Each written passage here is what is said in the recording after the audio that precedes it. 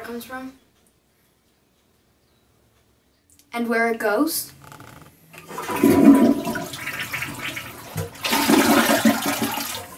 To find out, I went to the North Tonawanda pumping station and water filtration plant located on Tonawanda Island.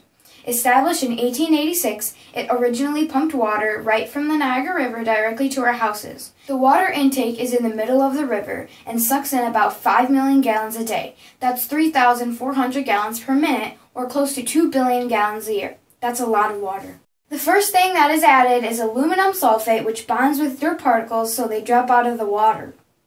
Here, the dirt particles drop to the bottom and clean water moves on to the next step.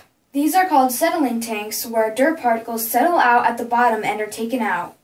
Potassium permanganate is added to kill any algae, chlorine kills germs and bacteria, and fluoride is added because it's good for your teeth. In this room, the water is filtered through sand to eliminate any remaining particles. There are 12 sand filtering bays that are closely monitored. Our drinking water is tested several times a day for cleanliness, pH, bacteria, chlorine levels, and more. Now the water is ready to be pumped out to the city. The first stop is the Tollner Avenue storage tank, which holds 4 million gallons of water. Then onto the Erie Avenue Tower, which holds 1 million gallons. The water is pumped up into the 112 foot high reservoir so that gravity can pull it down. This creates enough natural water pressure to push it throughout the city, into your houses, and out your faucet. That's where your water comes from. This is where it goes.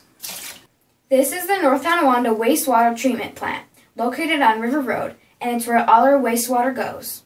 The whole process is monitored very carefully, and they have their own laboratory on hand to test the water at each stage.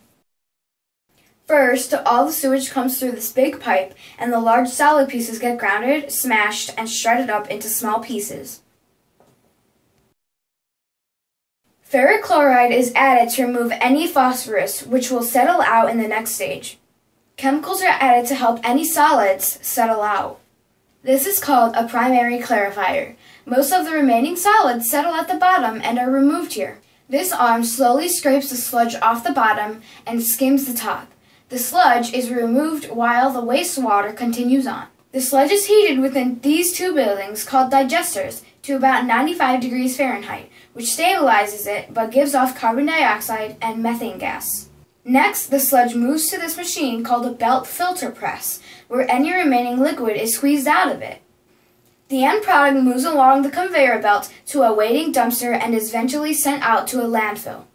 Here, the wastewater is filtered through sand, which removes most of the remaining small solids.